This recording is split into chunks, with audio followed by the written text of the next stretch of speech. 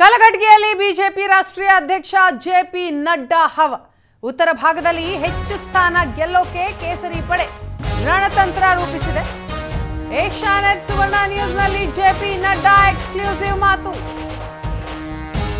ಕಲಘಟಗಿಯಲ್ಲಿ BJP ರಾಷ್ಟ್ರೀಯ ಅಧ್ಯಕ್ಷ JP Nadda ಹವ. ಡಬಲ್ ಎಂಜಿನ್ ಸರ್ಕಾರಕ್ಕೆ ಜನ ಆಶೀರ್ವಾದ ಮಾಡ್ತಾರೆ.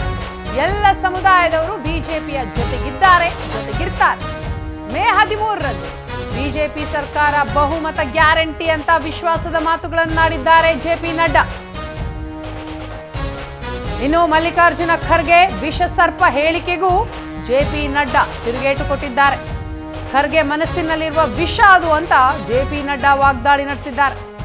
ಏಷ್ಯಾನೆಟ್ ಸುವರ್ಣ ನ್ಯೂಸ್ ಜೊತೆ ಎಕ್ಸ್ಕ್ಲೂಸಿವ್ ಆಗಿ ಮಾತನಾಡಿದಂತಹ ಜೆಪಿ ನಡ್ಡಾ. ಈ ಬಾರಿ ಬಹುಮತದ ಬಿಜೆಪಿ ಸರ್ಕಾರ ಅಧಿಕಾರಕ್ಕೆ ಬರುತ್ತೆ ಅನ್ನುವಂತಹ ವಿಶ್ವಾಸ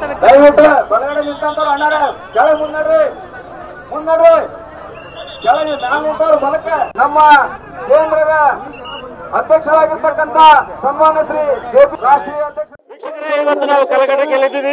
ಬಿಜೆಪಿ ರಾಷ್ಟ್ರಾಧ್ಯಕ್ಷರಾಗಿರುವಂತಹ ಜೆ ಪಿ ನಡ್ಡಾ ಮತ್ತು ಪ್ರಹ್ಲಾದ್ ಜೋಶಿ ಅವರು ಸಂಸದರಾಗಿರುವಂತಹ ಪ್ರಹ್ಲಾದ್ ಜೋಶಿ ಕೇಂದ್ರ ಮಂತ್ರಿ ಇವತ್ತು ಅಬ್ಬರದ ಪ್ರಚಾರದ ನಿರತರಾಗಿದ್ದಾರೆ ನಡ್ಡಾ ಸಾಬ್ ನಮಸ್ತೆ क्या मुद्दा लेके आप आ, ये बार कर्नाटक में चुनाव आ, चुनाव पे जा रहे हैं ऐसा है कि कर्नाटक की जनता डबल इंजन की सरकार को आशीर्वाद देने के लिए आतुर है जिस तरीके से विकास पिछले साढ़े चार साल में हुआ चार साल में येडियुरप्पा जी और बोमई जी की सरकार में और जिस तरीके से प्रधानमंत्री मोदी जी का आशीर्वाद कर्नाटक को मिला है आज कर्नाटक बहुत तीव्र गति से आगे बढ़ रहा है।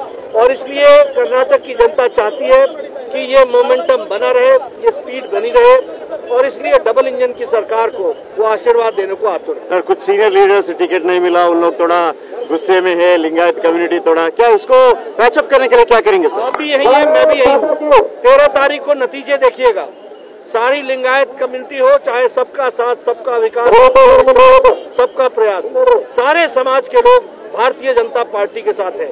और हम लोग हर चुनाव में बुज़ुर्गों को आराम देते हैं और नए लोगों को काम देते हैं। तो ये हमारा कंटिन्यूस प्रोसेस है। इसी प्रोसेस में ये कार्य हुआ। सर अमित शाह जी ने कहा एक बात ये कर्नाटक को हम मोदी जी के हाथ में दे देंगे। इसका मतलब क्या है सर लोकल लीडर को चांस नहीं है पूरा दिल्ली से होगा क्या मतलब है? ऐसा है इसका मतलब बड़ा स्पष्ट है कि यहाँ पर धरती पर हमारे बुमई साहब, हमारे येडियुरप्पा जी, उन सारे कामों को धरती पर उतारेंगे और आशीर्वाद मोदी जी का रहेगा, क्योंकि केंद्र सरकार जब बड़े बड़े प्रोजेक्ट्स देती है तो प्रदेश का विकास होता है। आज आपको कोच बनाने की फैक्ट्री मिली है। आज आपको हेलीकॉप्टर बनाने की फैक्ट्री मिली है। 67 परसेंट ऑफ़ हेलीकॉप्टर यहाँ बनेंगे। तो ये विकास की कहानी है। एक लाख करोड़ रुपए आपको हाईवेज के लिए मिले। तो ये विकास की कहानी है। ये अगर सिद्धारमैया आते हैं तो स्कैम हो जाता है। अगर कुमार स्वामी आते हैं तो स्कैम हो जाता है। बोमई साहब आते हैं तो सर करगे जी ने मोदी जी को विश्व सर्प कहा। विश्व सर्प कहा मोदी जी को करगे जी ने। इसके बारे में ये उनके मन का विष है। और ये मन की बौखलाहट है। और ये सोनिया जी और राहुल जी के इशारों पर इस तरीके की बात हो रही है। यह राष्ट्रीय पार्टी के स्तर को बताता है, जहाँ राष्ट्रीय अध्यक्ष इस तरीके की भाषा का उपयोग करता है। तो ये बौखलाहट है, ये उनके मन का विष है, और ये कांग्रेस पार्टी के विचारों के स्तर को बताता है, जितना इस तरीके की भाषा उपयोग कर रहे हैं। बार बार भारत की जनता ने मोदी जी को और बढ़ चढ़ करके आशीर्वाद दिया। Last question sir sir forty percent का आरोप जो कर रहे हैं उसके बारे में आपको क्या कहना ऐसा है मैंने सारे मैंने सारे सिद्धारमैया के टाइम के स्कैम की बात की।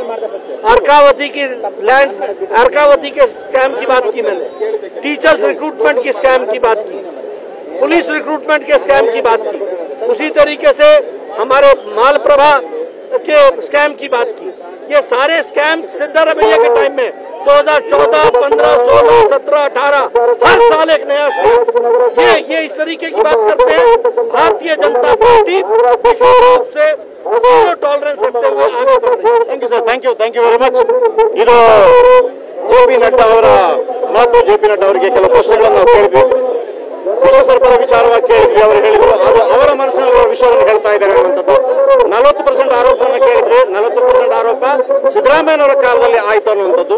ಮತ್ತು ಮೋದಿ ಅವರ ಕೈಯಲ್ಲಿ ಕರ್ನಾಟಕವನ್ನು ಕೊಡುವುದಂದ್ರೆ ಏನು ಅಂತಂದ್ರೆ ಮೋದಿ ಅವರು ಕೇಂದ್ರ ಸರ್ಕಾರದ ಬೇಕಾದಂತ ಸವಲತ್ತುಗಳನ್ನು ಕರ್ನಾಟಕ ಕೊಡ್ತಾರೆ ಈ ಮಾತುಗಳನ್ನು ನಾವು ಹೇಳ್ತಾ ಇದ್ದೀವಿ. ಹದಿಮೂರನೇ ತಾರೀಕು ನೋಡಿ, ಲಿಂಗಾಯತರಿಗೆ ನಾವು ಅನ್ಯಾಯ ಮಾಡಿದೀವ ಸೀನಿಯರ್ಗೆ ನಾವು ಅನ್ಯಾಯ ಮಾಡಿದ ಯಾವುದೂ ಮಾಡಿಲ್ಲ. ಬಹುಮತದಿಂದ ಬರ್ತೀವಿ, ಕಾದು ನೋಡಿ ಅನ್ನುವಂಥ ಮಾತನ್ನ ಹೇಳಿದ್ದಾರೆ. ಕಲಬುರಗಿಯಿಂದ ಜಯಪ್ರಕಾಶ್ ಶೆಟ್ಟಿ ಸುವರ್ಣ ನ್ಯೂಸ್ಗಾಗಿ